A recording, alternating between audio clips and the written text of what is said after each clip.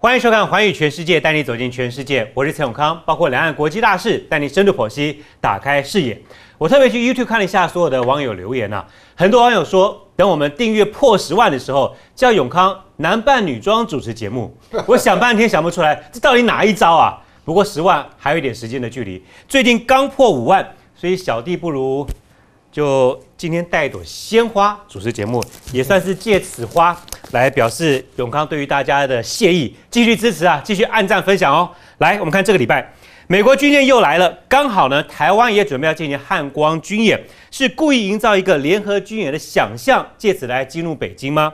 另外，我们看到中美贸易战这个礼拜瞬间升级，有人说科技战开打。没有 Google，没有 Gmail，华为能够撑多久？以及印尼的大选刚落幕，但动乱才刚开始。菲律宾的其中选战结束了，杜特地人马大获全胜。有人说乱世用重点呢，他是直接就枪毙。果然在菲律宾，这叫做王道吗？我们来为您介绍今天邀请到的三位来宾。首先是丹江大学国际事务与战略研究所黄介正教授，黄老师，大家好。民进党立委郭正亮，大家好。以及资深媒体人陈凤新，大家好。我们就先带你看这个画面，这是年度规模最大的汉光军演，即将马上就要登场了。不过这个礼拜呢，先进行的是第四作战区，进行的是什么呢？现在画面上你看到是 F 十六在东部的海域进行了实弹试射，而且呢，F 十六 V 也要练习降落在战备跑道。另外一个军演的重点还包括了有在第四作战区呢做滩头演训，直接要歼灭敌人。如果敌人要抢滩的话，要进行一个演练，歼灭敌人在外海。那这个时候呢，就在台湾进行下个礼拜要大规模的汉光军演之前，台湾海峡又出现了美国海军的军舰，所以有人说这一次来的时机点是相对特别敏感一些。我们来为您做个介绍，这次来到台湾的这个美国军舰呢是驱逐舰普呃普普瑞普尔号，这实际地点在五月十九号的时候呢，它是驶进了具有争议的。黄岩岛十二海里的区域，当时跟解放军的海军这个对峙了一番，在隔没几天的时间，五月二十二号，这一艘美国驱逐舰呢就开进了台海中线。所以两个说法，为什么这个时候美舰又来？其实过去这五个月，它每个月来一次了，但是这个时机点刚好碰到了汉光军演，所以有人说两个可能：一吃台湾豆腐，因为台湾在军演，所以美国军舰也来营造一个好像有点同框的 feel；第二。这个帮忙台湾顾台湾，因为现在台湾的海军大规模集结在东部海域，所以西部有点放空。那我干脆来帮你顾一下西边的海域哈。那我先请下三位来宾，您认为这次的美舰这个时机点敏感时刻，日子是算过挑好的吗？刻意选的吗？您怎么看？Yes or no？三位都说是是挑过的。那我先请下凤妮姐，刚刚这个媒体分析两个可能性了。你觉得哪个比较可能？还是你有其他观点？我认为这两个可能性其实都可能说的稍微的浅了一些些。嗯，等一下，也许黄教授跟郭委员其实会讲的更加的深入。你会发现说，在过去这一段期间，美国军舰已经是定期航行了。是啊，几乎是每一个月来一次，每个月来一次，每个月来一次，时间都差不多。所以他他如果说只要是五月来的话，他就不太可能是完完全全的避开汉光演习。所以某种程度来讲，他还刻意避开了，刻意避开让他没有同框。哦，所以他最多只能够有一个同框的想象，但他其实没有真正同框的效果。嗯，那真正他想要做到的，其实就是定期的航行。而这个定期的航行，军事上面的定期航行，它其实在挑战一个底线，就是到底我军事活动上面呢，它的底线到什么样子的程度，那中国大陆会采取更进一步的措施。嗯，不要忘了，其实它真正。比较敏感的，并不是汉光演习，比较敏感的是明年一月十一号的二零二零总统大选。嗯，距离明年总统大选现在只剩下七个月的时间。嗯，如果他未来七个月还是如此的定期航行，嗯，而在定期航行的过程当中，我现在举一个假设的状况，因为这个假设的状况呢，苏启教授其实已经提出来假设过了。嗯，那大家可以去思考一下。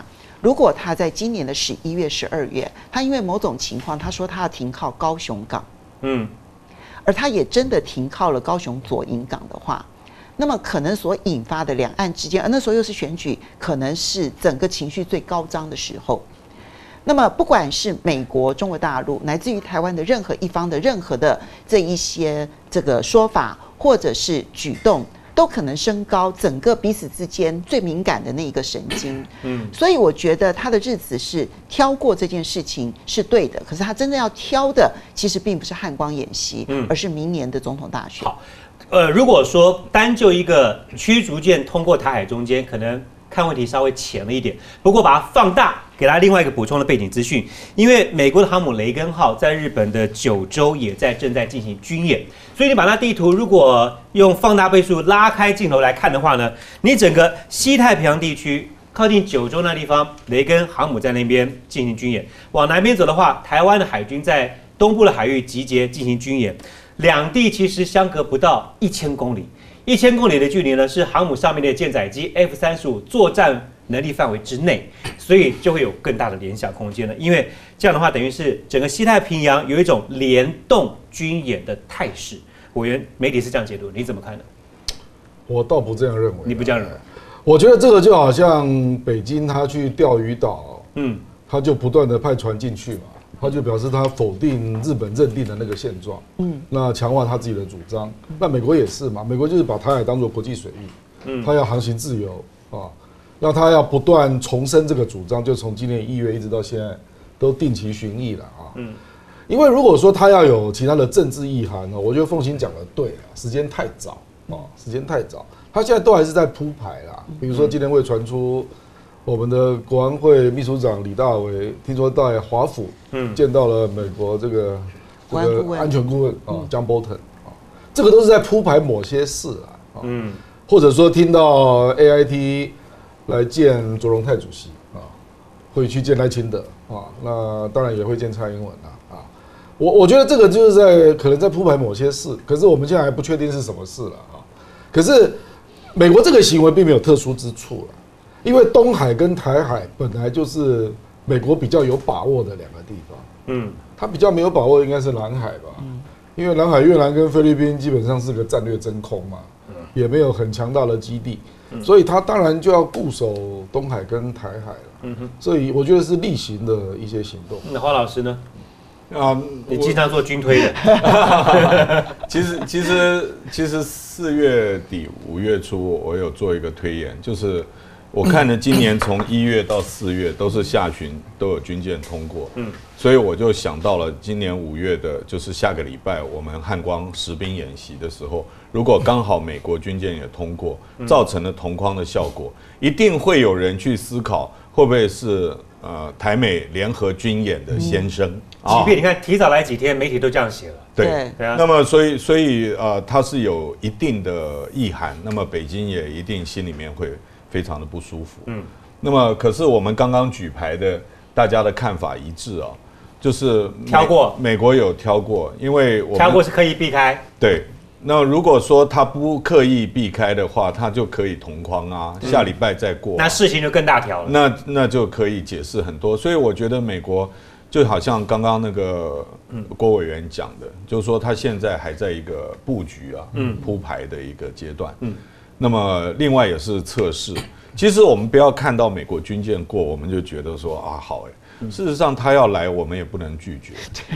啊，他来了以后，我们又不方便鼓掌。对，我们我们是一个很尴尬的场合。他事前又不告诉我们，我们担心的是说，那个中国大陆万一也有样学样，说我在海峡中线以西定期啊，高调的对外发布讯息的那种方式。老师，我跟你特别请教。同样做，你刚刚讲到高调这件事情啊，就是北京的反制这些动作嘛。我们在前段时间已经看到了对方的军机，这个打破了惯有的默契，嗯飞越了中线十分钟的时间，嗯也看到了浙江海域做实弹的炮弹射击，这个比当年九六年可能距离更近，而且是实弹。那你你怎么看？接下来这两个都已经是出手反制过的动作了，那这一次你你觉得会有接下来后续吗？大陆对于我们。的选举啊，向来都是多手准备了。嗯，解放军也不会，尤其是现在中美中间气氛那么不好。嗯，解放军也不是都没有意见。那么，所以当美国很高调的时候，也不能够排除解放军他将来也会高调。嗯，那现在问题就是，就是他们选择在较量的那个擂台啊，偏偏搬到台湾海峡，那我们又不能叫他移走。那你跑去跟北京抱怨，北京说我是做这个是做给美国看的，美国说我我在这里是做给北京看，问题都在我家门口，是啊，所以未来一段时间，这些张力会不会越来越高？那么像美国军舰避开那个时间，老实讲啊，那个就是不要在下礼拜我们实弹演习、实兵演习的时候过，对我来讲是放松。嗯，为什么？因为我们在从事演习的时候，我们所有的雷达、关通系统、通信全部都是都是开机的。嗯，那有任何外国军舰，或是对岸的军舰或飞机经过，对我们来讲就是一个不能说威胁，但是是一个警觉。嗯，因为因为他会收到我的，他会听到我的东西，他会收到我的讯号。嗯，那我们当然是希望，你记不记得以前我们在屏东九鹏那个飞弹试射的时候，那个美国啊很多军舰就在外海，嗯，他们就在收我们的参数。对所以我们自己在做实兵演习的时候，老实讲，我们实在是不太希望啊，太过太多好奇的人在我们周边了。是北京高调后，它会有什么样的一个做法？因为很多国际的专家都说，二零二零的下半年会是台海最紧张的一个，2019至少是二零一对，就是二零啊，一九二零一九的下半年到二零二零的选举前这段时间会是。最紧绷的一段时间了，很多专家这么讲。等一下我们给大家看一个引述的专家的话。不过我们先来看这一位是王丽他所写的一个脸书的文章，他是专门做一些军事跟战略方面的文章的呃专栏作家。他说啊，北京高调的做法其中之一的一个选项是，就他的角度来看，目标是拿太平岛，因为风险跟投入的成本相对最划算。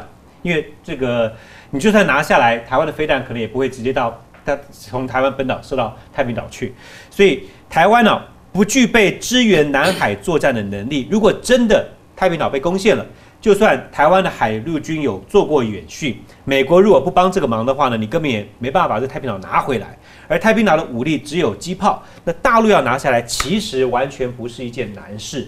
我想请教一下凤欣，你来看，如果拿太平岛，一是容易的，二，呃，警告台湾之外呢，也对于美中在南海对峙的情况之下，大陆可以再下一城，这符合利益吗？北京的？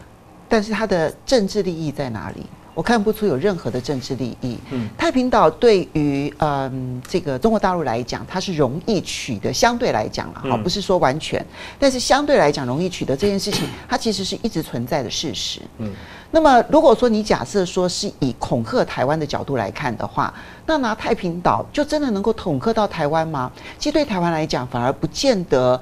反而可能会有凝聚那一种同仇敌忾的那样子的一个政治的氛围的一个一个情况，所以我觉得这个想象其实是多过于你实际上面的那个战略的这个参考。嗯，对台湾来说，最危急的其实不是太平岛，绝对是台湾海峡。那么，如果我们把眼光从战争的角度去放大到整个的大的这种生存战略来看的话，其实今年的夏天，如果一个台风，然后在西半部地区，那么可能就已经使得我们很多的能源补给船，它就已经没有办法进港。如果在这个时候，然后中国大陆在宣布说，因为实弹演习的关系，所以所有的船只都不得靠近。嗯，你知道在台湾来讲啊，只要七天，我们天然气全部断断气，船就瓦斯船两艘，对，就全部断气。嗯嗯，而全部断气之后，台湾那时候是面临夏天，嗯嗯，供电最吃紧的时候，只要天然气断气，全台湾势必就要轮流限电。嗯哼，光这个样子，其实你对于台湾的在战略战术上面的威胁感，其实是更强烈的。嗯，其实这一个部分呢，远比我们想象中去打一个太平岛。那但是打了太平岛的目的是什么呢？其实你破坏了南海平衡。你不要忘了，现在中国大陆跟菲律宾、跟印尼彼此关系都是非常良好的，因为目前的主其事者，不管是佐科威啦，或者是杜特地，那都是跟中国大陆关系良好。他没有必要在这个时候去扰扰动这一个南海这一部分的情势，你用大的战略去看它。所以我其实反而觉得台湾海峡的情势是最值得关注的。好，但这篇脸书，我相信他写跟分析啊，也不是完全凭空想象出来，因为最近海巡署二十号的时候呢，也特别在太平岛的海域进行了一个实兵演练，要展现的是在南海国军可以救援的能力哈，包括了海空都有出动之呃飞机啦跟呃舰艇，所以增加了一些联想的想象空间了。那我约你来看这个事情，太平岛易攻难守，台湾补给线又长，真的要拿的话呢，其实就军事上来讲不是那么难。但美军会有任何动作吗？不会，太平岛台湾一定守不住了，嗯，大概只有中国守得住了，因为中国有周边三四个填海造陆的岛屿，它可以连成一片嘛，嗯，那连越南都不一定守得住了，何况是台湾啊？那而且有人说可能战争一个小时就结束了，嗯，所以重点是在于，就是说大陆夺下那个岛，他接下来能干什么？对。啊，比如说他是因为以武逼谈吗？你认为民进党政府会因为这样来跟你谈一中吗？嗯，搞不好民进党政府拍拍手说，那那你就拿去吧。捡到枪，你都拿去好了。所以没有政治上面出发的一个动机，因为九段线民进党不接受啊，对啊，九段线是中华民国跟中华人民共和国的模糊地带，对。民进党是不接受哎、那你要把太平岛弄掉，你等于是让台湾跟这个大陆的那个本来有模糊交接的地方又少了一个地方，嗯，就跟金门马祖一样嘛。对，比如说毛泽东为什么不打下来？嗯因为他总要有一些重叠地带嘛。嗯事实上，九五年传出来是乌丘啦。嗯，那最近当然是因为南海冲突，所以太平岛就引人注意。可是太平岛，凤青也讲的对，是更敏感。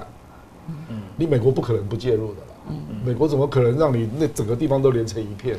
菲律宾跟越南也很难做事、啊，过他们没有力量。就算没有力量，也会关系不好、啊。是啦，嗯是啊，没有错？嗯，所以我认为他再笨也不会去打太平岛嘛。哎我们来看刚刚老师提到一个二零一九年的下半年啊紧绷的事情，这是一个美国海军陆战队的退役上校，叫做纽舍曼，他现在在日本呢是一个研究员，他特别提到。习近平下令解放军在二零二零要做好攻台准备，而且他们也朝这个方向在计划。因为海陆 从海海军陆战队在对岸解放军的人数从两万多人提升到三万人，就是为了未来如果要登滩的时候呢，抢滩的时候人员做一个预备。老师，这这这个人你有听过吗？他讲的话，我有跟他说过话。你，有跟他说过话？对。那他讲这话的可信度他是陆，战队上校退役，嗯。他在呃还在穿军服的时候，他主要的任务在整个第七舰队，或者说我们更大一点印太司令部下面，他是负责陆战队事务在日本的这个主要的负责人。嗯。那么，所以他对日本的自卫队的战力啊，以及作战呃的能量，嗯是非常了解的。是他退了以后，他虽然有他现在有记者的身份，同时也在做访问学者。嗯我为什么会跟他讲过话呢？因为他在正大做访问学者，是他现在人就在台湾。哦，现在对，，OK，那么当然不是一直住台湾了，嗯就是这一段时间刚好在，所以我前一阵子因为某一个场合，嗯，所以我跟他碰了面，嗯，那么也聊了一些，当然除了聊日本的军力以外，他也跟我分享了他对我们国军的一些观察，他怎么会知道习近平主席在想什么呢？我觉得他是推测，推测，他是用一个推测，因为他很非常忧心。事实上，他跟我描述他对日本自卫队实际上在作战时候是不是能够发挥，他也是有一些担忧的。可能他是美国海军陆战队嘛，嗯，他觉得自己最厉害。那么，所以他做的这个我有看到，因为他有寄给我啊、我没有我没有回应他了，嗯，因为其实我觉得他用了一些呃，我们讲他不是做梦文，嗯啊，但是他想用一些比较极端的 case 去来引起大家去思考，就说如果是这样子的话怎么办？嗯嗯嗯，那么其实其实我们环宇全世界啊，在选前说不定就在这里可以做一个兵棋推演。哎，刚刚凤兴还有委员都已经把一些想定了。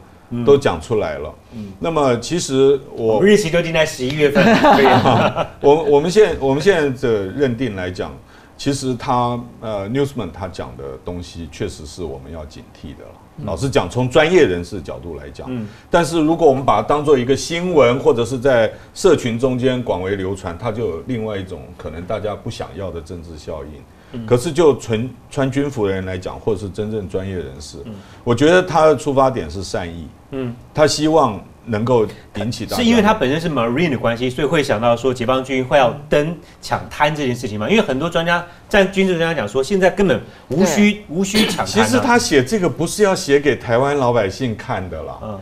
他是要写给美台湾陆军，战队，呃，写给美军，写给这个希望美国做作战计划的人，或者是说对未来形势估算的人，不要忽略了解放军。他写的都是事实。我跟那个易思恩一样，嗯，是我写给美国看的。对我我的我学生写这个陆战队扩编已经好几篇 paper 了，只是那是我们学校的作业，不是不是我们没有拿来做新闻而已。嗯，它确实就是军改下面的一部分。是嗯，它的登就是两栖作战能力，因为美国已经嘲笑北京嘲笑了二十几年了，说你不管嘴巴讲多凶，你人到不了台湾，拜托。所以啊，美东方人讲意图，就是说我我对你好不好，我打不打得到你不重要，你最 care 是我想不想打你。嗯，西方人的思维的开始到 是，如果你我我 I don't care 你有没有恨我，你打不到我，我就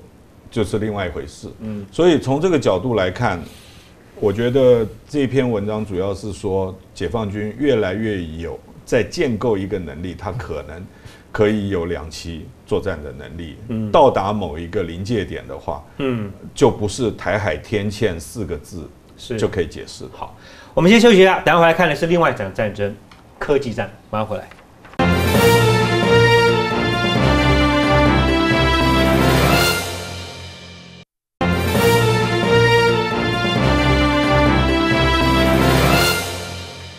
美洲贸易、中美贸易战现在打的就是华为被封杀。那接下来传说还有另外五家的中国大陆的企业被美国给锁定了。我们带您看一下，包括了海康威视、浙江大华、科大讯飞、美雅博科以及旷视科技这几家公司呢，都有一个共同特色，就是做一些监控或者大数据相关的科技公司。当然，美国方面就说这可能危及到了美国国家安全，所以接下来可能会被锁定。不过，也有人马上就做一个分析，因为这五家公司的科技背景，所以在美洲贸易的战略的架构之下呢，接下来的贸易战已经升级变成了是科技战。三位认为，在这个礼拜已经从贸易战升温变成了科技战吗？你怎么看？三位认为是如此哈。那我们来看一下，先请大家凤青姐，因为贸易战的影响，我们节目讨论了很久，而且台湾一般民众也感受到了。你现在出国去玩，换美金就变贵了很多嘛，美金涨，台币跌。换日元尤其是换日元也是一样避险哈。另外，部分台商回到台湾进行投资，但相对的，红色供应链的这些厂商呢，也马上就受到影响。这我们都知道，科贸易战台湾是有好也有坏。那科技战，我们就觉得层次不太一样，内容也不太相同。它的相对影响的层面是什么？我先说一下，嗯，前几天我刚好访问朱立伦，朱立伦他因为跟美国的前国防部副部长伍德维夫见了面，我想两位都非常的熟悉，他某种程度代表美国共和党里头强硬派的很重要的一个立场。他提供了一个很重要的讯息，里面提到说，贸易战可能或许很短的时间之内有个协议，是。就像川普他对外说，他很快之内就会有协议啦，等等等等。但是啊，川普有提到说，华为也许会纳到这个协议里头，但伍德维夫或者是这一个呃，这个这个这包括了他 Pompeo，他们都认为科技战是科技战，贸易战是贸易战。所以川普也没说谎啊，他认为贸易战快要落幕了，但是他接下来打的是科技。对，主要的是科技冷战啊，那或者有人称之为数位铁幕、科技冷战，其实都代表的是现在这样子一个新的情势。嗯，贸易战主要的工具，其实它用的就是加征关税。但是现在科技战啊，就是建立一道壁垒，我的零组件不能够供应给你，而你的成品不能够卖到我这里来。嗯，我不卖给你，你也我也不跟你买。这一个壁垒就好像是柏林围墙一样，它是一个隐形的柏林围墙。你不准卖给我，我也不准卖给你。现在美国是逼迫全世界，因为美国现在已经是对华为下了一个禁令，这个禁令是买跟卖都不可以。嗯，那这买跟卖。主要是美国的这一些技术也好，它的零组件也好，嗯，它不是只有美国厂商不能够卖给中国大陆，而是只要你的技术占百分之二十五以上的话，那其他国家也不准卖给中国大陆。比如说英国、德国，包括了台湾。所以现在全世界大家都在 survey 这件事情，到底我的产品当中，美国的技术占的比重是多少？美国的专利、美国的技术、美国的零组件，如果超过百分之二十五，它也不可以卖给中国大陆，嗯也不可以卖给华为。这就是台积电前一阵子它正式的宣布说，他们会继续供应给华为，但是他们会做好尽职调查，调查说我要出口到这个中国大陆的这个产品，就是我帮他代工好的这个产品里面有多少的技术是来自美国？嗯，超过比例的，那我就不会接这个单子。这就是台积电他所做的事情。事实上，全世界现在都在做这件事情。之前传出来 Panasonic 他本来要断货的，但现在的 Panasonic 他说，哎，我们还是会这个这个这个供货给华为，只是会做好禁止调查。嗯，所以现在这个影响哦。其实最大的还是在华为。我们刚刚提到的这五家企业，那么嗯，外资分析师他们已经做过了很详细的这个研究之后呢，发现当然最大的是海康威视。海康威视不管是它的主要的销售管道，嗯，就说它成品卖的市场主要是中国大陆，美国几乎没有。好，那中国大陆以及其他的市场。第二个，它的主要零组件其实来自于中国大陆自己本身的，不管是软体或者是硬体，主要是来自中国大陆自己本身的，因为。其实监控这件事情还没有像手机那样子啊，或者是五 G 那样子用到最精密的半导体，它还没有到这样子的一个程度，所以它反而是中国大陆自己可以供应的。所以现在如果就算把海康威视纳进来作为一个科技战的对象，其实对中国大陆的杀伤力不大，全部的焦点还是在华为。而华为它的影响呢？因为呃，很多人形容说这一次的科技战呢，它是一个新形态的一个冷战，就有点像说当年的美苏冷战一样。但今天的中国大陆跟当年的苏联最大的不同是，政治军事上它像当年的苏联，但是经济上它不像当年的日本。它跟然后而且呢，那个紧密的那个交织网络呢，其实是要比当年的苏联跟日本都要来的更紧密的多。嗯。台湾，我们有百分之四十的出口是出口到中国大陆去，然后接下来是有百分之三十出口到美国去。其实我们必须要诚实的说，不管是中国大陆的市场或美国的市场，台湾任何一个厂商其实都丢不得，因为只要丢了，你想想看，少掉了四成或少掉了三成的这个营收，哪一家公司能够真正的好好的活着？所以这个战争呢，对我们影响极大。到最后，它会形成一个什么样的局面？我们不敢说，因为我觉得取决于川普。嗯，就是川普他到底对于这个科技冷战理解到什么程度？我们等一下也许可以细细的来分析。嗯，到目前为止，他所理解的是美国要再次的伟大，中国不能够独霸全世界，绝对不会让中国主导世界。可是这个理解跟可能庞贝尔他们这些人，他们真正要理解的是要。裂解中国，恐怕是完全不一样的理解。所以，川普会做到什么程度，我们没有把握。我们能够做的是，我们恐怕必须要把我们的所有的生产线也好，甚至于恐怕很多公司要做好拆解公司的准备。是。有的专门针对美国市场，嗯，有的专门针对中国大陆市场。这一块，其实看到因为如果不这么做的话，生存都会变得非常困难。台湾现在其实是一个在一个极为脆弱的一个关键时刻。我们每一步路只要走错了，这一条路就算没有战争，台湾大概也会毁掉一半。是，其实刚刚风林提到一个重点，就是在打贸易战的时候，武器就是关税。但打科技战的时候呢，对于川普来讲，更大的武器就是管制出口。管制出口，美国自己有一个法案，他们叫做《国际紧急状态经济权利法案》（IEEPA）。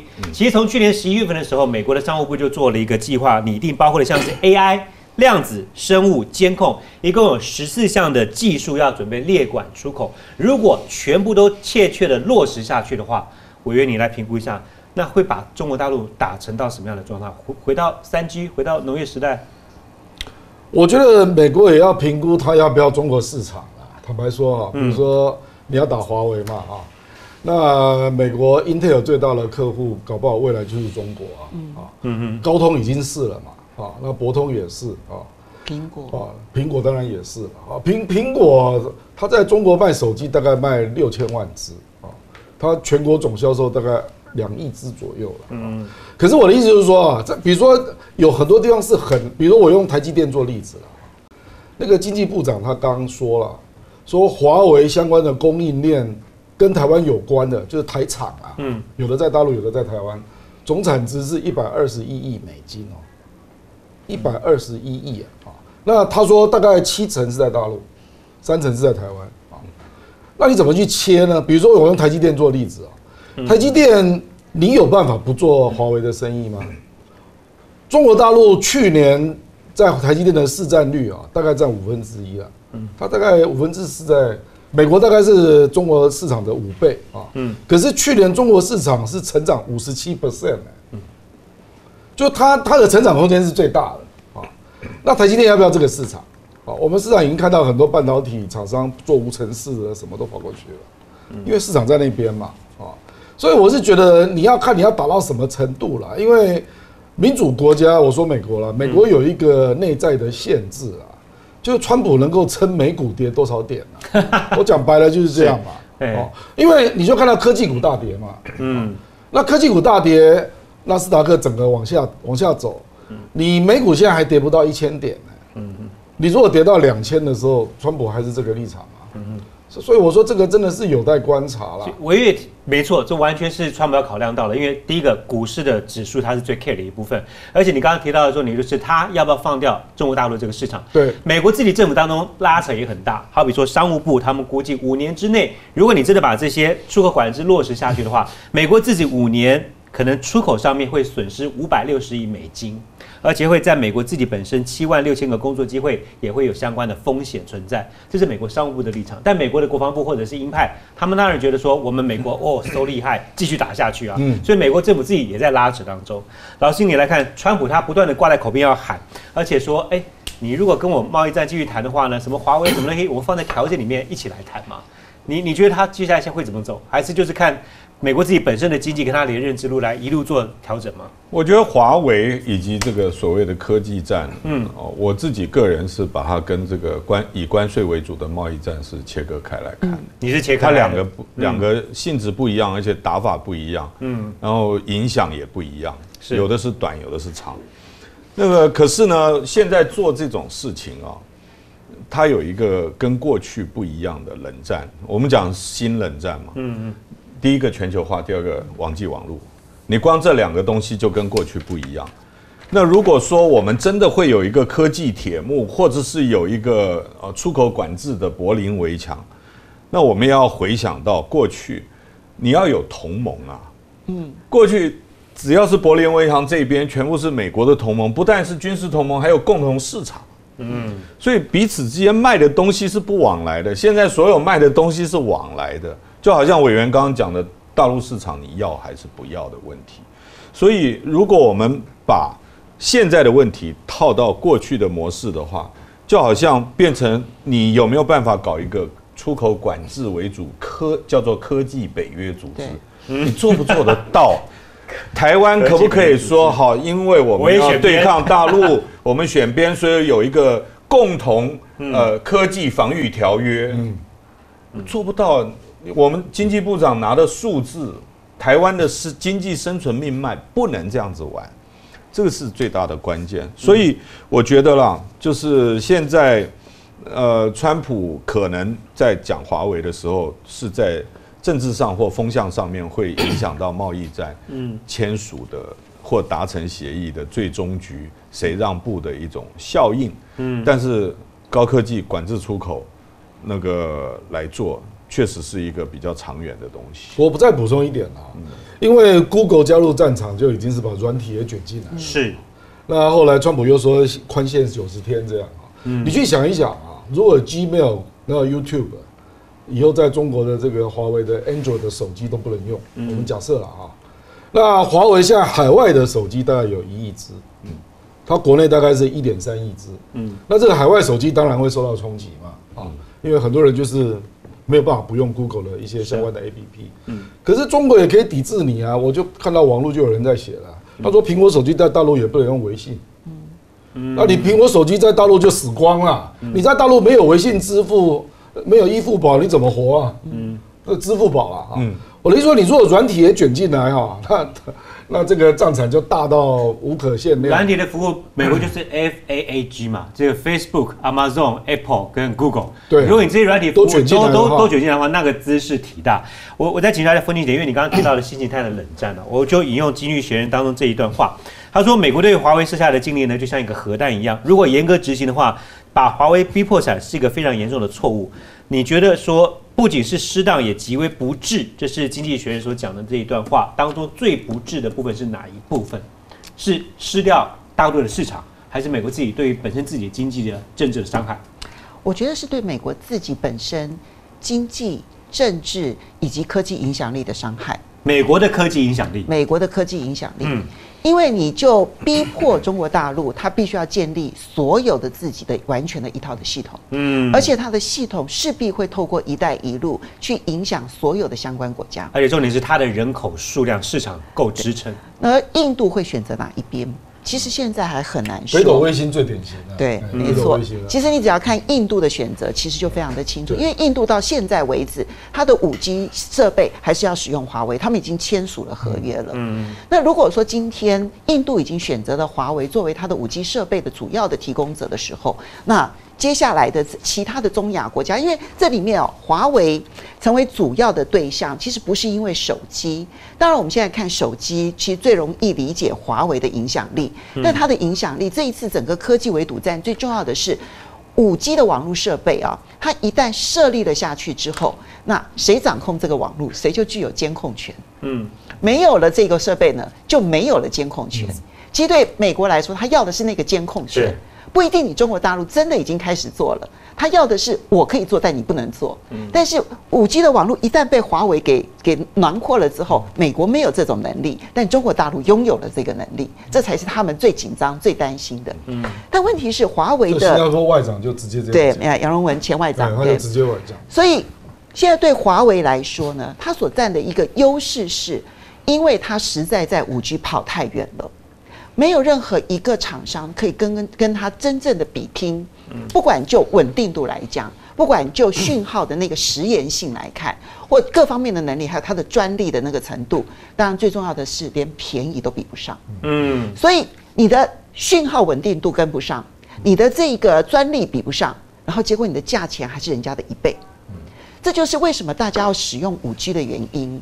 澳洲甚至于因为拒绝使用五这个华为的五 G，有一家电信厂商他就宣布说他不发展五 G 了，嗯，因为他没有办法想象说他去投入了又贵然后又不稳定的五 G，到最后如果有一天你放宽的时候，那他的竞争对手用的是华为的五 G，他会无法竞争，嗯，这就是华为的优势。可是这种优势就会，如果你继续的冷战下去，这个优势在短期之内，美国没有任何一个厂商其实跟得上来，因为它拥有这个专利以及跑得太远的关系。如果说今天华为已经囊括了一带一路的相当大的人口的市场的时候，这个时候他们就被迫要使用华为的所有的后续的这一些科技的影响力。那美国就自己丧失了它的科技影响力。这也是任正非所讲的，他自己对于他们的五 G 是很有自信，领先其他大概两年左右的时间。不过，就整个国家的科技实力上面，落后美国还是一大长的距离。但重点是五 G 这个市场是你基础建设吃下来之后，规格吃下来之后，别人就只能 follow 你，这是最大的一个差异的部分。当然，刚刚委员也提到，你美国的这些设备，如果你知道软体卷入进去的话，你到中国市场没有 WeChat 你就不用玩了。不用玩还有另外一个重点就是，大陆还有一个武器，爱国。五月中到现在不到两个礼拜的时间，大陆已经播放了至少七十部的爱国电影，这有多大的效益？靠美元炒电影，回来让你看，包括了华为的话题，马上回来。对。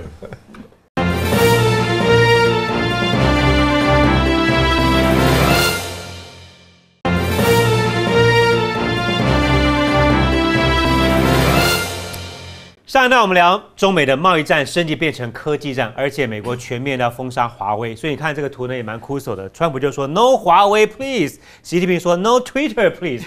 但这两位呢，马上在下个月六月底的时候就要在大阪的 G20 见面。现在科技战、贸易战打到刀刀见骨的情况之下，两个人见面不是尴尬吗？怎么样称呼对方呢？我做一个背景补充说明。还记得二零一七年，当时川普刚当家的时候呢，去了一趟北京，而且很风光的进了紫禁城啊，接受款待。当时还有这么一段话话题哦，就是川普见到习近平的时候就称呼他 King 国王，那习近平就说：“我不是国王，我是国家主席。”但川普说。但你是终身任期、终身主席，所以你就是 king。哎呀，这个习近平当时就嗯，呃，也没有点头，就是嗯的一声，现场立刻引发很大的一个啊、笑声就出现了。所以川普称呼习近平称呼过 king，也称呼过 buddy，好兄弟，也称呼过 good friend。嗯，那老师啊，现在刀刀见骨的情况之下，川普再见习近平握手之后会称呼他什么呢？华为哥，华为哥，华为哥，因为伤你最深呐、直接叫华为哥就是感到最痛处了。哎，踩到现在现阶段，就就比如说下个月 G 二零的时候，是啊，最最焦灼的就是华为。那那习主席看到了川普，会想要跟他讲什么内心话吗？推特先发给我，两个人集团，你觉得会有什么表面功夫一定会做嘛？对不对？嗯，对，那能够有什么实质上的进展吗？因为川普不断的在放话，他觉得很快就要落幕。你觉得有可能在贸易关税这一块，我们先不要谈科技啊，关税这一块有可能在集团里之前会有一个比较具体的协议尘埃落定吗？现在还在谈呢、嗯我觉得，我觉得双方都还留的，没有赶尽杀绝，双方都留了留了最后一手尤。其是当美国股市表现不好的时候，川普就很有我补充一下啊嗯，因为那个美美国那个中国的船六月初就会到美国了，所以那个两千亿美元那个要关税起征就开始了，对。所以是等不到 G 二零。对，等不到。大概六月十是等不到号，，所以所以你六月十号之前那个关税就起征，我那一波会争啊，但是在见面之前，如果达成协议的不话，那那一波真的开始争，股市就大跌了。对。嗯。对，股市就大，因为大家本来认为有三个礼拜缓冲期嘛，嗯。结果你没有办法在六月十号之前达成协议嘛，嗯。因为你要等到 G 二零，G 二零是月底哎，对，对不对？所以，所以我们刚刚上一段聊，就是大陆北京上面还有什么样的武器？当然，你现在 Google、Gmail、Android 不支援我的话呢，那你可能以后美国的 iPhone 呢，你所有 WeChat 你也不能下载。那爱国是另外一个武器了。我们给大家刚刚上一段特别预告了一下，五月中到现在，大陆已经播了七十多部的爱国电影，另外呢还包括了央视连续播了五天这个抗美援朝的影片。爱国歌曲《贸易战》已经上线了，而且呢还有押韵，“一带一路”连成的片，肇事者也打他头晕目眩啊。那其那个《权力游戏》最终集，很多人要锁定了，结果突然就没播了哈。习近平说：“我们在长征的起点上，回忆当年红军开始出发的时刻，我们现在展开一次新的长征，我们必须要重新出发。”有人就说，接下来很可能，我们之前听过限韩令，搞不好接下来会出现限美令。如果真的限美令出现的话，好莱坞电影在美在大陆都不能上演，哇，那这个可能就更大的影响层面了。后期，你看我觉得当然速度不会那么快。不会，那么快，他一定会拖到 G 团体的会议，然后两个人见完面，嗯。要撕破脸也要等到那个时候，真的要发动一个反美的一个情绪，我觉得现在都还在酝酿。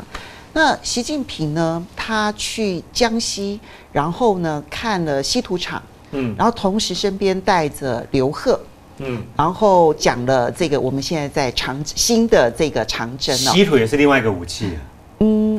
当然，我现在看到一些评析认为，稀土要作为战争武器，其实它是蛮脆弱的，就是说它的科技门槛其实没有那么样子的高。它呃，而且拥有稀土资源的国家其实非常的多，只是因为很多国家可能碍于就是一些价格问题啊、污染污染啊、环保啊等等，所以不开发。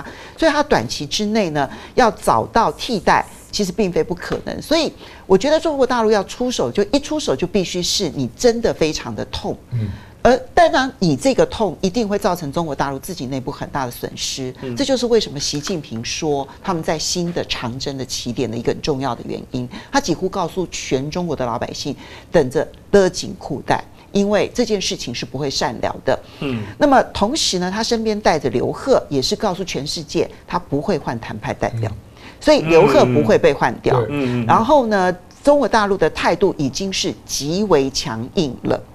那这个极为强硬呢？你现在看到美国这边米努奇，因为米努奇呢，呃，美国财政部长米努奇呢，他大概是整个的美国大鸽派中的最重要的代表，而。米努奇呢，不断的喊话说：“哦，我们随时可能都会要开始这个重新谈判啦。然后呢，我们现在呢正在协商当中。”他每一次这样的喊话，中国大陆这边不管是商务部的发言人，或者是外交部的发言人，其实层次都不是非常的高，但他们的发言都非常强硬的回击说：“没有这件事情，我们现在也没有听说任何的要重新谈判的一个情况。”我刚刚形容的这一些现象都凸显出来，现在中国大陆是集体的强硬。它已经不是有分什么鸽派、鹰派，它不是，它是集体的强硬。那这个集体的强硬呢，相对而言，美方我觉得他们在等待的其实就是刚刚这个几位都已经提到美股的大跌，他们知道川普真的无法忍受的是美股的大跌。嗯，那现在道琼其实还撑着对，，S M P 指因数也撑着。对，我觉得这两件事情它都还撑着。现在跌最凶的是费城半导体，因为科技战受伤最重的是费城半导体以及苹果。苹果的股价，因为太多的外资分析的报告都警告说，中国大陆最大的武器其实就是封杀所有美国的产品，而且它不需要明明文的的的禁止，是啊，不用明文，它只用明文。要表达了这些，就有一些人发动了这样子的运动，网军就够了对他只要发动了这样的运动，然后他们没有任何人出面节制这个运动，嗯这件事情就形成了，所以苹果的股价就一直跌。那到底是川普能够撑得久，还是中国大陆能够撑得久？嗯我觉得对中国大陆来讲，内部有没有不同的声音？有，但是这个不同的声音是很容易被中国大陆压抑下来的。嗯，但是美国的不同的声音是没有办法被川普所压抑下来的是。如果说今天股市继续跌下去，因为现在，嗯，而且美国现在也已经开始对他的农民这个发出一百六十亿美元的补助，然后呢，如果股市也这样子大跌，几件事情加总起来。川普到底抵挡得了、抵挡不了这个压力，嗯。嗯，才是这里面所有人的关，因为他没有意识形态，他是所有的白宫里头唯一没有意识形态的人。嗯，其实你要知道一件事，你你要等到美国有那一天的时候，你必须要自己那口气还撑着。对。你刚刚讲到是基本，你我不对，我先我先把这段讲完，因为刚刚峰也提到，现在大陆是集体强硬，但要撑到美国股市不管跌，或者是当地的农民开始有更多的反弹情绪的那一天嘛。那华为撑得到那一天吗？我立刻把它给大家看一下。上一段我们也特别提到过，包括了 Google、高通，刚刚我也有提到，就是已经全面停止供货了。在这样的情况之下，四面楚歌啊。我们说贸易战的时候，中国大陆本身的市场够大，但科技战这一部分，华为单就这家公司来讲，它海内海外跟自己在大陆本地营收可以说是差不多一半一半。你去问大陆人不用不用没有 Google O 不 OK，他可能说 OK，但你海外市场，包括像台湾这些电信业者都不卖了，主要原因是因为你就算卖，一般人也不太会买，因为在海外地区，你没有 Gmail，你没有 Google Google Map，这个很难 卖得出去这样的手机，所以科技战这一块，华为可以撑到那时候嘛？我也说明你做做，我那个 Google 的部分已经延长九十天了。嗯，那凤青刚刚讲有几个压力，川普会感受到嘛？实际上也包括六月十号，如果关税真的加上去，嗯嗯，那沃尔玛的价格一定也对也要调整也会调整啊。我今天有一个，因为有一个微博叫中美聚焦了啊，嗯这个蛮有名的啊。那他今天登了一篇文章，是 James Snow 写的啊，嗯，他就认为说，川普用紧急权力把华为加进来啊，是，让北京改变了思考方式了。他就认为说，哎、你可以随时加码，嗯，那我如果这个时候让了，那我怎么知道你那个协议是有效的？而且今天你绑架了华为这家公司，说这个可以纳入贸易谈判，他明天绑架另外一家公司，是嘛？所以我的意思就是说，现在中国有普遍的一种思考，就是说，对哎、法律规则协议对你是没有用的啊、你可以用紧急权力随时加码。那我如果这个时候让，就是予取予求嘛。嗯所以你看他的回应是什么？他说：“你先给我回到原点。”他说：“你要 address your wrong action。”嗯哼，中国就是这样回应川普啊。那就是说，你如果没有回到原点，我们现在签任何协议，实际上是没有办法有保障的啦。所以我们现在谈有什么意义呢？嗯，所以那个 James Stone 他就呃他对川普也蛮不客气的，他就说这已经不是在谈判了啦，这是在勒索了。就我随时加个码，然后就说哎、这个也是谈判条件。嗯，那可是你是突然勒索形成了你的筹码嘛？嗯，那这个筹码本来是不存在的、那怎么可以这样玩玩谈判呢？是啊。哦所以如果要这样的话，是谈不下去了。对，所以我认为这种情况，这个在我们谈判学上叫做啊你碰到难缠的对手，是难缠不讲不讲理的对手，难缠，然后最后就会不讲理嘛哎。那怎么办呢？只有一种情况嘛，就是双方都要剧痛，嗯，剧痛，他要知道痛的代价，嗯，所以没有办法。像你这种随时可以加码、用紧急命令、自己决定不守任何规范的人哦，我只能够让你股市来让你痛。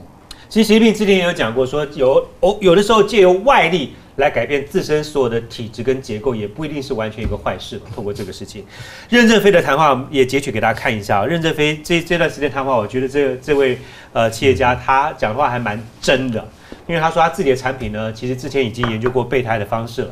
那呃虽然没有到那么好。大概就七八成嘛，大家也可以凑合着用。然后他也说了，目前对于华为两个情绪，一个是非常鲜明的爱国主义，要支持华为，但也有一个情绪是说，就是因为华为你绑架了我们全部的一个社会的爱国情绪。你这样也是等于一种煽动啊，他是这样讲？那呃，我想请教一下老师，你来看，因为任正非他在十年前据说看了一部电影，就叫做《二零二零一二》，就灾难片他当时就获得一个启发，有一天如果真的是美洲贸易战有这一天出现的话，那应该有一些备胎。二零一二就是世界末日那部。对那部电影，好，他看的那部灾难片，因为当中有个诺亚方舟嘛，他说那我们应该有个诺亚方舟，如果有一天真的没有像美国这些软体的话，我们自己要有个备胎来使用。所以诺亚方舟他们准备开始要启动一些备胎的方案啊，但可能没有到那么好，但能发挥多大的功用？以现在科技电子进步的速度来讲，嗯，inventory 老实说，嗯，并并不是挪亚方舟概念，嗯，因为挪亚方舟的概念是把那些可以延续生命的，把它放在上面。挪亚方舟另外还有一个概念，就是其他全部被毁灭。问题是，今天华为或者是任正非，你所面对的不是说你有一个诺亚方舟，别人会被毁灭，你只是保命而已。所以他只是他只是把自己放在一个相对安全的胶囊里面，让他能够度过这个难关。我觉得这是这是一个观点。另外呢，就是比气长哎，那个科技老老师来讲，就刚刚我们已经谈了很多。不要忘记，美国虽然说现在打得如火如荼哈，从贸易战弄到科技战，嗯，但是我有几个参考点，观众朋友可以再去思考。第一个，明年美国总统选完了以后，如果是换党执政，如果不是川普，这个这个战况就会平息吗？嗯，美国对于中国大陆崛起就会放心吗？很难，嗯。啊，所以，所以这个趋势来讲的话，是一个大的问题。另外还有一个，华为在在美国有很多，你不要讲决策者了，你不上市啊，然后你说跟政府没有关系，这对美国人来讲完全无法解释。所以，所以在这样一个不对称的作战的情况之下，我觉得美国的总的思维，嗯，是这是最。应该是说，中国挑战美国，甚至取代美国的最后一个战略机遇。嗯，美国如果手软，它被超越的情况就会发生。对，这一次如果撑过去的话，对，好，他现在不是打压中国，他只是让你放缓。嗯，就是说你你超越我的速度减缓。嗯，他并不是要灭掉华为。那所以，所以我觉得对美国人来讲，不管你是鹰派鸽派，有一个很清楚的一点，就是说现在不压住中国，十五年以后压不住了。刚好川普总统他把朝鲜半岛，对不对？我给你二十年时间，结果什么也没做成，核武有了，洲际导弹有了。中国大陆，我们过去思维啊，在过去所谓建制派思维下面，就中国现在越来越强，越来越强，变变成二二当家了。嗯。那美国最不容许的就是二当家出现，日本以前尝试过，所以我觉得从大的整个战略构思来讲的话，这个事情不会那么快善了。嗯哼，好，我们这个话题到这边先打断一下，因为我们节目反正这个话题是应该是每集都可以聊的。我们等下回来继续带你看，呃，台湾应该要很熟悉的，因为在台湾有非常多的印尼的朋友，也有很多菲律宾的朋友，但你真的。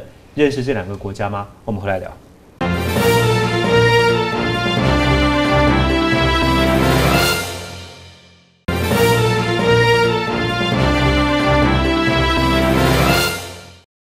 印尼距离台湾不远，也是蔡政府新南向的锁定的国家之一。但是印尼真的，一般台湾人还不是那么的熟悉。我们节目曾经聊过，印尼在选举啊，就前段时间一场选举的计票，居然。累死了两百多个计票人员，这件事情觉得我在台湾不可思议，无法想象，两百多个人为了计算选票过劳死，这个选举怎么会选成这样子呢？那选举落幕之后，没有想到现在真正的暴动这礼拜展开了，因为我们来看一下百分比啊，这呃顺利连任的佐科威他是拿到百分之五十五的选票，而敌对呢认为说这个选举过程当中有不公有作弊。因为有一些人被发现。他们身上有一些神秘的信封袋，里面有现金，所以怀疑说是不是有买票。而且这暴动开始之后，警方逮捕了一些人，发现这些人居然不是雅加达本地的人，所以认为背后是有人在操纵这场暴暴动。那到目前为止呢，这个周末已经有六个人死亡，两百多个人轻重伤。委员，你来看这一个暴动会持续扩大吗？不会，马上就要到寒暑假，不会因为普拉沃博完全没有正当性。对，没有这普拉沃博实际上是反民主的候选人，嗯他根本就反对民主啊，而且他主要的诉求就是要回到回教基本教义。嗯，他还逼佐科威找了一个回教的基本教义派来当副总统，是。他还因为这样得罪了年轻人，嗯。你就知道他的反对者是多么在用回教议题啦。嗯。所以最近你也看到有一些排华的动作，那就是因为积的太严重了嘛，那当然就开始排外了。嗯。那基本上，我觉得印尼人在佐科威领导下，他经济方方面面是在改善中啊，成长最哦，快。包括这次有那么多假新闻，就是因为网络太普及了嘛，嗯。就是因为网络普及才有假新闻啊，以前怎么可能有这个现象，对不对？那他们的假新闻是比台湾要离谱非常多啊，啊嗯。就无端的就写一个很耸动的社会事件，嗯。然后就说，哎，你不能来这里，不然你会被打，这样啊，那这个太严重了那几乎所有的人呐、包括知识界啦、财经界，还有年轻人，基本上都认为是输的人搞的啦。嗯而且坦白讲，你输了很多哎、对嗯，你输那么多，你有什么好讲？十趴，十一个百分，对啊，你输十一趴，你还有什么好讲？嗯这是一点九亿人的国家嘞，你看十一趴有多少多少票？委员认为说，在选举无效之诉或这场选举它的影响层面可能不会再扩大。而且美国一定支持佐科威的。但但我要问的事情，因为刚委员提到一点，现在有一些排华的情绪，因为要有一些情绪的宣泄出口。嗯我说我刚刚的提问是说暴动会不会扩大？我要症症结在这一点，因为小弟的印象深太深刻了。一九九八年，我才刚刚出来跑新闻那一年我刚跑新闻那一年呢，就接就是发生这个当年的九八年的黑色五月暴动。我那时候我还记得，我在新闻部就专门收一些外电啊，要帮翻译呢，要简介做袋子。那画面之血腥恐怖，一般观众恐怕是难以想象，因为我们看到的是原时代，还没有马赛克的。当时也是要情绪的宣泄出口啊碰到了金融海啸的风暴，然后当地的政局不稳，然后要宣泄，宣泄最方便的就是找一个目标。当时的目标就是当地的华人，因为华人有钱，所以当地人就把华人当做是暴动的宣泄出口我。永汉兄，这个这个题目我研究过，是事实上就是苏哈托自己去煽动。煽，动。是啊，有人是当当着政幕后策划当当权者，他就可以转移目标，把华人出去啊。因为他贪污嘛，群众在抗议他嘛，嗯。他就转移焦点嘛，是啊，那付出非常大的代价了。就是印尼因为这样资金外逃四百亿美金，嗯。因为华人有钱嘛，然后大量的人移民嘛，嗯。不愿意回来。那事实上是佐科威，坦白讲啊，是他这几年呐、做大和解了。嗯。比如本来那个雅加达市长也是华人。嘛，对不对？那后来也是被回教徒来抗议了等等啊。嗯不过就是说，基本上大和解的动作，包括比如说华人的学校重来，然后春节可以公开办活动，嗯，都是在左科威任内了。是。那当然没有错了，黑色五月的真相还是不能调查啦，这个没有办法。不过我觉得，我觉得，嗯，背景是很不一样的地方对。就是在一九九八年那个时候，如果我们回到一九九八，那时候是一九九七年的时候开始的亚洲金融风暴，从泰国一直燃烧到印尼。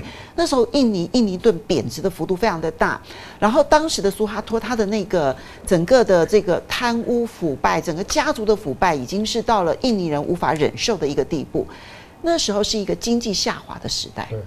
因为经济下滑，所以执政者他要去找出替罪羔羊，于是他就煽动了暴民。其实确实印尼有那种排华的情绪在民间，可是谁来煽动呢？那时候是执政者来煽动，而且是因为经济不好。可是现在的情况是刚好数万相反。华人被虐杀，可是现在的情况是刚好相反。现在印尼是在走上坡的时候，所以你认为不会重演六零年代虐杀是将近两百万人。对，那时候更严重。可是现在的情况不同的是，因为你看过去这几年印尼的那个经济成长率都在五趴以上，这是印尼有史以来经济情势最好的一段期间，它吸引的外资最多，然后佐科威他的开明形象在全世界是公认的好。虽然他最他非常的轻松，但基本上他在全世界财经圈里头，他的声望是非常好的，所以。全世界都欢迎佐科威，没有人在指责佐科威在这一次的选举当中舞弊。你没有看听到国际上面没有任何人去声援反对派，相反的都是比较站在执政者这一边，而执政者是要保护华人的，因为他们跟华人之间的关系是良好的。那现在煽动的排华情绪是来自于反对派的部分。呃，我昨天刚好碰到一个朋友，他从东南亚过来，他说其实印尼的情绪已经在被控制住了。那个控制住有一个很大的原因，其实就来自于。佐科威他固然是开明形象，但是他在内部其实他也算是铁腕作风，所以不管是封锁了 Facebook，封锁了所有的这些社群媒体，然后接着呢军队的步步进逼，其实我相信这个暴动是真的会很快的化解下来，然后接着他可能会有一一系列的，就是对反对派的一些制裁啦、处罚啦，或者你可以讲说是报复，但是。相反的，华人这个部分在现在的执政者底下，其实反而是相对被保护的。马来西亚之前也排华，看到印尼之前也排华。不过现在，你觉得在印尼，即便是有这么多的假新闻流传，要煽动也不会有那么容易的状况。因为假新闻的的主要的来源现在都被关闭了。嗯嗯，好，好，我们再看另外一个选举，马上跳到旁边的菲律宾。菲律宾最近举办的是其中选战，结果参议院十二席当中有九席，只要跟杜特地接近的人全部都当选。你看他的女儿、儿子，呃，有当市长的，有当副市长的，有当众议员的，基本上只要跟杜杜派，全部都是大获全胜。有人说杜特地他真的非常具有争议，跟当然跟刚刚我们听到印尼的佐科威开明啊民主是完全。不一样的，但都是强硬派。强硬派没错，但是杜特地的嘴巴比较厉害。他嘴巴不但他嘴巴不但是会骂脏话，会去亲别人的太太，然后他还会直接枪杀毒贩。但显然他在菲律宾支持度依旧是居高不下。问一下秦老师，你研究国际的哈，为什么菲律宾这个民族特别不太一样，与众不同？其实也没有也没有特别与众不同，是杜特地与众不同。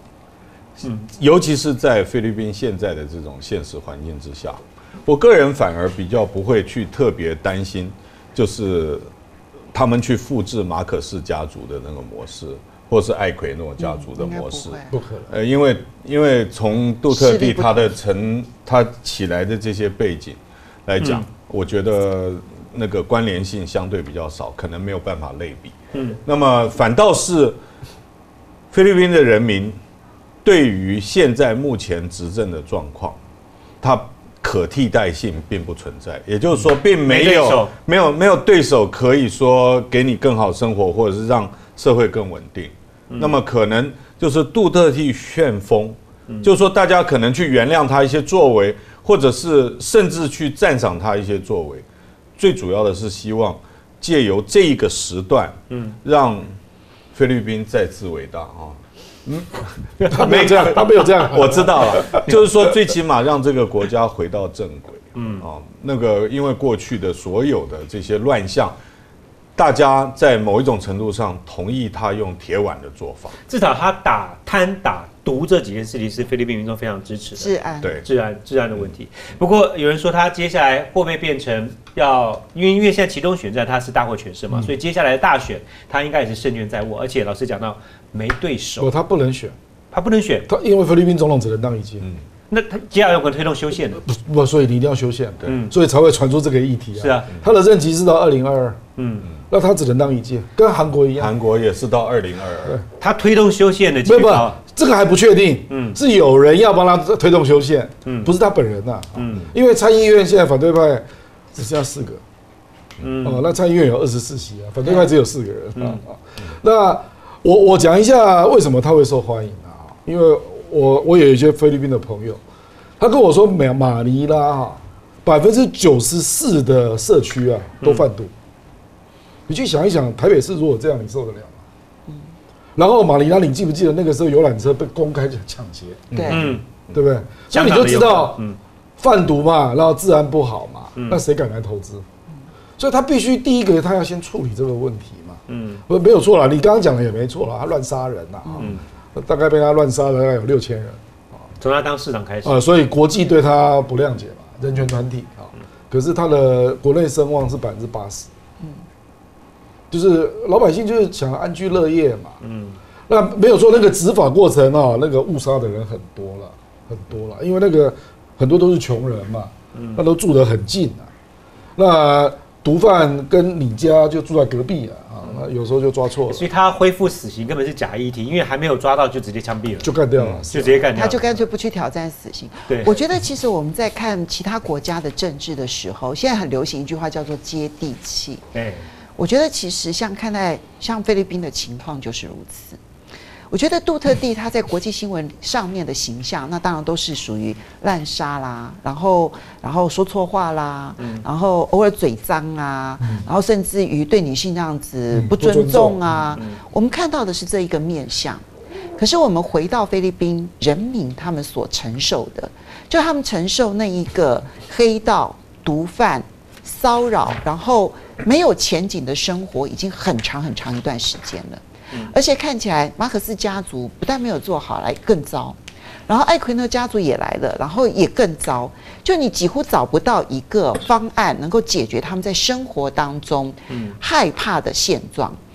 那你看到杜特地他这样子的强硬的那种做法，你从某个角度来看是没有人权，可是你回到一般菲律宾老百姓的角度来看，他觉得他们至少可以赶出门了。嗯，换作是你我，如果我们是生活在那样子的环境里头，你也会忍受所有说脏话的政治人物，只要他改善我的治安。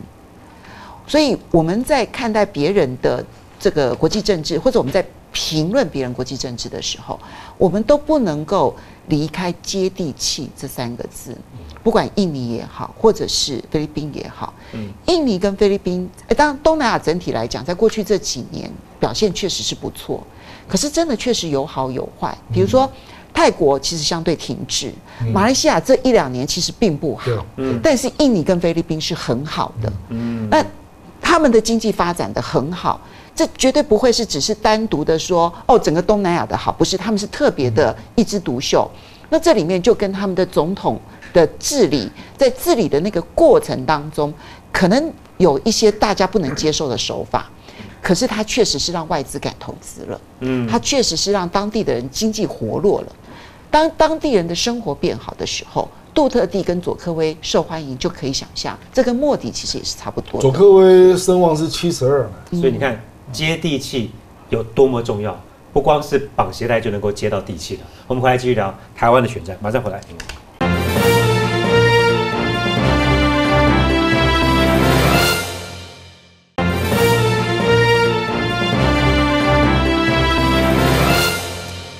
在台湾的二零二零大选呢，现在真的是焦灼啊，蓝绿各自都搞不定。那柯文哲就在旁边等，等到看你们谁先出来吧，反正他八月再宣布。而这个礼拜呢，有三份民调同时出现，数字呢有一些不太一样，但基本上的一个现象就是，韩国瑜虽然下滑，但下滑的迹象比上个礼拜来说稍微有点止滑了。不过，不过能还能掉多少呢？我们来看一下哈，这个是放言做的民调。是基本上三份民调的时间都是在五月十五号的前后这两天哈，那时间点是差不多，但是数字出现不太一样。那会因为有些机构效应，所以调查的单位也说一下放言。那做的部分是呃三强鼎立的情况之下，不管是蓝绿组合如何，都是蓝军胜出。那韩国瑜跟郭台铭大概是他两个百分点哈。另外在绿党所做的民调呢，韩国瑜对上蔡英文跟柯文哲的话，韩国瑜胜；郭台铭出来的话，就是蔡英文胜。那如果是对手变的是赖清德的话，那全部都配变成柯文哲啊、呃夺下大位。最后在联合报的民调上面，也都是韩国瑜跟郭台铭胜，但当中韩国瑜跟郭台铭的差距大约是比这个放言所做的要来的大一些，大概差到了四到五个百分点。所以说，呃，柯批。我们知道他的民调之前在办市大运之前，也曾经在低档徘徊，但四大运办完之后呢，他的民调就上来了。那我想请教一下凤欣，你来观察韩国瑜他的民调前段时间跌了这么多，有什么点可以让他再冲回去呢？还是说差不多就这样子？我没有觉得韩国瑜的民调真的叫做掉很多，嗯它确实是有下滑的一个趋势，而且这个趋势呢，我也并不觉得它已经真正的止住才是韩国瑜最大的危机。他真正的危机并不是在于说我怎么去挽回我掉的这个民调，而是他怎么阻止他的民调下滑。那呃，本来我认为韩国瑜最好的一个做法就是回防高雄啊，就是在高雄呢去做到让所有人都感动满意。好，我举一个例子，呃，我我举一个例子来说哈，就说那个态度，当然，我觉得那个呃，有朋友提醒，我觉得是对的，就是说那个态度很重要。比如说高雄的路平很重要，嗯，高雄的呃地底下的很多很多管线的各式各样的问题很重要，嗯。那嗯，如果说今天韩国瑜就像他在去年选举的时候蹲在凤梨园旁边，然后跟老农一起这个割凤梨的画面，或者是说像去年八二三水灾之后呢，然后他这个这个就直接脚踏在水里头那样子的画面的话，他现在要做的是包括了连夜要铺道路。或者是连夜我要去检查地底下的一些情况，嗯，他都到现场的话，那我觉得会感动人啊，因为你真的是夙夜匪懈的在为高雄拼。可是我这样的建议，显然韩国瑜并没有真正的接受。我看到这两天呢，他的行动比较倾向的是，他觉得因为民调有下滑的趋势，所以他要做的事情是更明确的告诉大家，他要选总统。所以，不管是接受联合报的专访，或者是嗯，这个他要参加一些拥呃这个呃这个希望能够拥护他，然后选总统的这一些场合，看起来他要用更明确的方式走总统选举这一条路。嗯，但我觉得这一条路，如果从我的角度来看，我认为这是一个选择错误。好，凤清认为说，韩国瑜应该要首要之务是回到高雄，做出让人感动的事情。不过他选择的是六月一号要北上台北参加誓师大会，这是韩粉，他说是韩粉自己自发性要号召十万人回到凯道。那我用你来观察，这会是一个人气观察重要的一场吗？当然是了，因为我觉得郭台铭的优势当然就是资源整合嘛，啊，因为包括国民党有一些高层呐，嗯，还有他本来就那么大的企业集团，能够结合的媒体的能量啊等等。让他迅速再集结了啊！而且我估计他可能在两个礼拜内各县市后援会都会成立啊，因为他下去各县市陪的人都是当地的要角啊，哦，像黄庆庭啊，然后台东县县长黄黄建庭，还有云林的云林也是张立山、张张家俊，对不对啊？所以，所以我认为他会很快用打资源组织盘这种方式把自己架构起来了啊。嗯嗯。可是就是说，你如果在两个礼拜之后。然后你的民调还是没有追过韩国瑜啊，他问题就大了啊，因为韩国瑜确实有一个优势啊，他真的比较擅长打群众战，嗯，他沟通表达跟让群众共鸣的能力，我认为是远超过郭台铭的啊。